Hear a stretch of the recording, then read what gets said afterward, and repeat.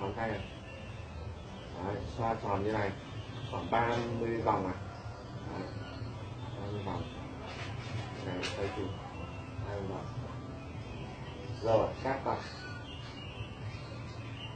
rồi đây lớp gần cổ tay này đặt ba ngón tay này cái đốt thứ ba này bấm ngón cái vào ấn và giữ vuông góc như này.